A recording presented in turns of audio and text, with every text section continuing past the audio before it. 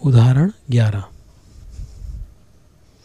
निम्नलिखित त्रिकोणमिति समीकरण के लिए ज्ञात कीजिए, जहाँ शून्य अंश छोटा है या बराबर है थीटा से, या थीटा का मान छोटा है या बराबर है नब्बे अंश से।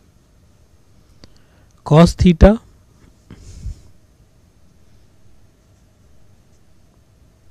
बटा कोसेक थीटा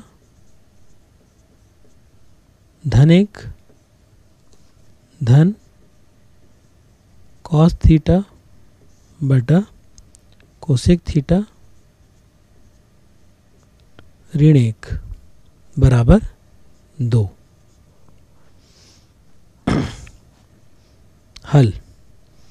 सबसे पहले हम यहाँ पे इस दिए गए समीकरण में लघुत्तम निकालेंगे। तो लघुत्तम हमारा आएगा कोष्टक में कोसेक थीटा धन एक और कोसेक थीटा ऋण एक अब इस लघुत्तम को इससे भाग देंगे, कोसेक थीटा धन एक से। तो ये दोनों कटेगा और कोसेक थीटा ऋण एक बचेगा, जिसे हम कॉस थीटा से अंश वाले, अंश में जो कॉस थीटा उससे गुणा करेंगे। तो हमारे पास आएगा कॉस थीटा और कोष्टक में कोसेक थीटा ऋण एक धन। पुनः कोसेक थीटा धन एक और कोसेक थीटा ऋण एक को कोसेक थीटा ऋण एक से भाग देने पर ये दोनों मान कट जाएगा और कोसेक थीटा धन एक को हम कॉस थीटा से गुणा करेंगे तो ये है कॉस थीटा और ये हो जाएगा हमारा कोसेक थीटा धन एक। धन एक बराबर दो। या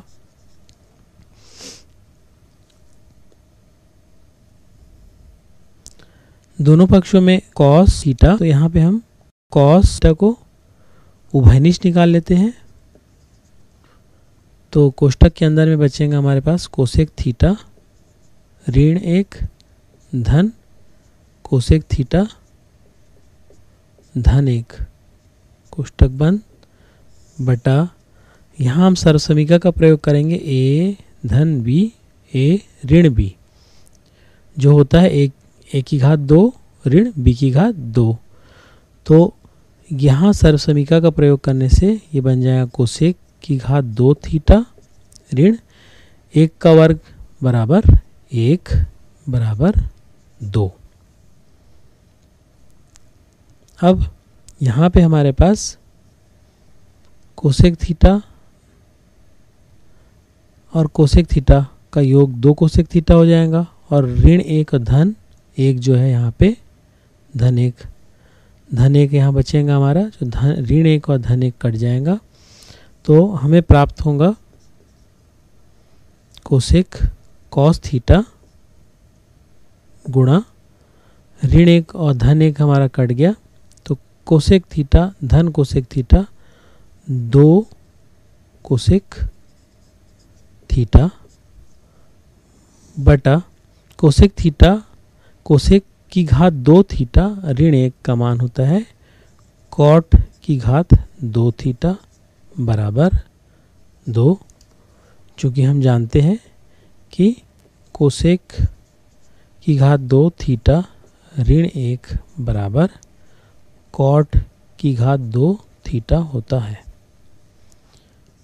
या कॉस थीटा गुणा दो गुणा कोसेक थीटा का मान कोसेक थीटा को हम लिख सकते हैं एक बटा साइन थीटा बटा कॉट की घात दो थीटा बराबर दो या दो कॉस थीटा बटा साइन थीटा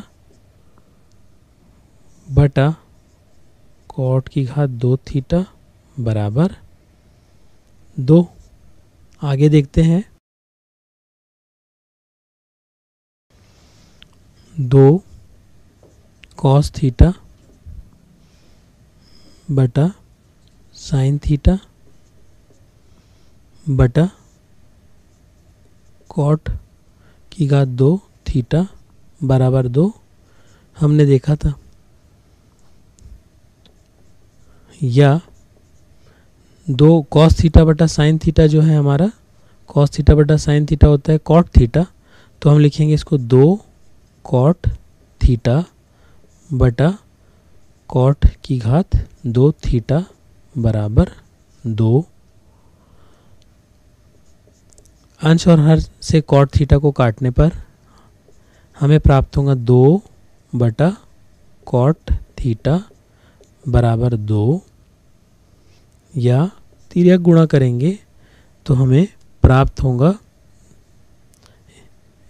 तिरक गुणा नहीं करेंगे हम यहाँ पे, एक बटा कॉट थीटा को हम लिखेंगे, एक बटा कॉट थीटा को हम लिखेंगे टेन थीटा तो हमें प्राप्त होगा दो टेन थीटा बराबर दो, या दोनों पक्षों से दो को काटेंगे हम, या दो का पक्षांतर करेंगे हम यहाँ पे तो हमें प्राप्त होगा टेन थीटा बराबर दो बटा दो हो जाएगा, उसका मान एक हो जाएगा। अब हम देखते हैं कि टेन थीटा बराबर एक जो आता है सारणी में टेन के टेन पैंतालीस अंश में आता है तो एक एक के स्थान में हम टेन पैंतालीस लिखेंगे। इस तरह से हमें प्राप्त होगा थीटा का मान पैंतालीस अंश। तो इस तरह से हमने इस समीकरण का हल थीटा बराबर पैंतालीस ज्ञात किया।